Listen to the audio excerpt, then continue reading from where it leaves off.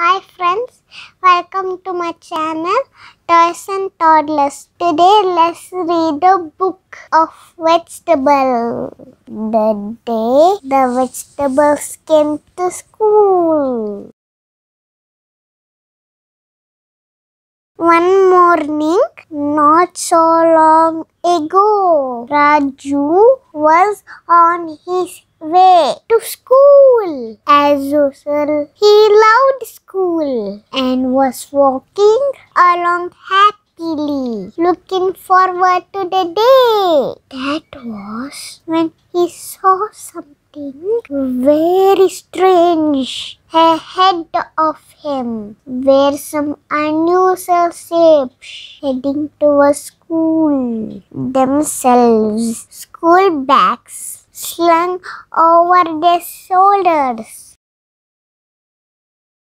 as he came close to the shapes, Raju wondered if they were vegetables, the kind he had seen so often in the market. He rubbed his eyes in disbelief. The vegetables look like fresh and healthy. They're marching to a school like little soldiers, one behind other. Raju walked faster and faster. He was full of curiosity about his new schoolmates and wanted a closer look at them. At long last, Raju caught up with the shapes marching ahead of him. He stared at their faces, mouth open in surprise. Just as he had guessed, the shapes were really vegetables. Potatoes, sweet potatoes, yams, and all the other root vegetables he had seen in the market. What? Is it really you? The question popped out of his mouth. Before he realized it, the vegetable did not reply. They just looked at each other and smiled, amused at his amazement. Where are you going? asked Raju in wonder. Where else? Replied the vegetable. Speaking together as one, we are on our way to your school. Raju nodded. He didn't know what to say. He continued on his way to school.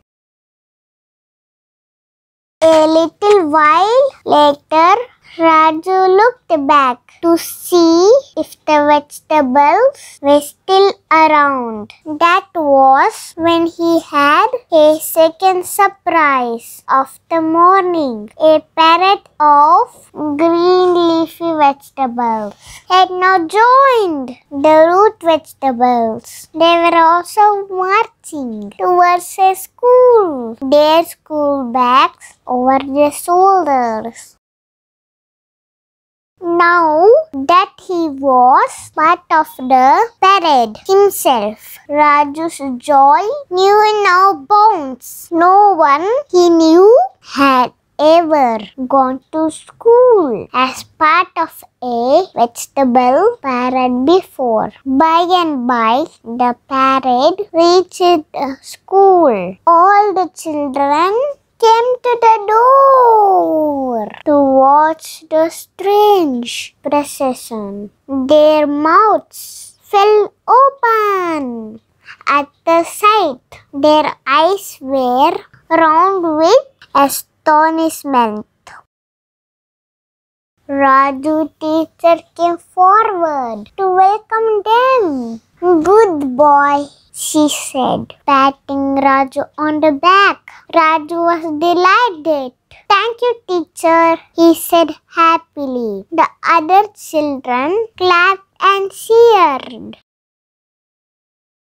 The teacher left, but someone continued to pat him and quite hard too. Raju opened his eyes. His mother was shaking him awake, saying, Wake up, Raju. You're going to be late for school. Raju was fully awake now. I have been dreaming, he said to himself. What a strange dream I have had. Raj got out of bed, smiling to himself. He would have to hurry if he wanted to get to school on time. This was a very big story, but nice dream Raju had. Thanks for watching. Bye bye.